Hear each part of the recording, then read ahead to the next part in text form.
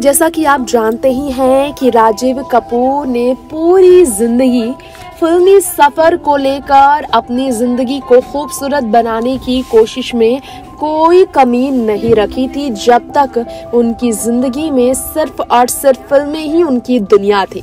अपने एक इंटरव्यू में राज कपूर के बेटे राजीव ने बताया था कि कैसे उनके लिए सिर्फ़ और सिर्फ़ फ़िल्मों में काम करना और अपने काम को ही अपनी पहचान बनाना उनकी दुनिया एक समय बन चुकी थी। लेकिन जिस तरह से फ़िल्म मेकर ने उनका माइंड वॉश किया और अपने अंकल शमी कपूर की तरह दिखने की वजह से उन्होंने बॉलीवुड में वैसे किरदार निभाए जो उनके लिए सक्सेसफुल साबित नहीं हुआ और इसका पछतावा उन्हें ताउमर रहा। खैर, उनकी आने वाली एक फ़िल्म तुलसीदास जूनियर की बात करेंगे, जिसमें उन्हें आशुतोष गावरकर ने संजय दत्त के साथ लीड रोल प्ले करने के लिए चुना।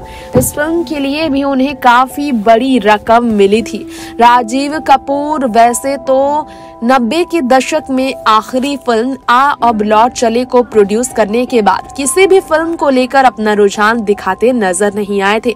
लेकिन कपूर खानदान में इकलौते सबसे छोटे देखा जाए तो वो अभिनेता थे वो जिन्होंने एक ही फ़िल्म से रातों रात सुपरस्टार खुद को साबित किया। फ़िल्म राम तेरी गंगा मैली में बड़ी लाइमलाइट उन्हें नहीं मिली लेकिन ये फ़िल्म सुपर हिट हुई। कमाई उन्होंने काफ़ी की थी। आर के स्टूडियो के बिकने के बाद भी बराबर में हिस्से बांटे गए थे राज कपूर के तीने बे, तीनों बेटों को जिसके कारण पुणे में घर खरीदने के बाद राजीव कपूर अपने घर खर्च के लिए किसी और पर निर्भर नहीं थे। करोड़ों की रकम उनके पास ज़िंदगी भर के लिए मौजूद थी। नेक्स्ट नाइन न्यूज़ से तृप्ति की रिपोर्ट।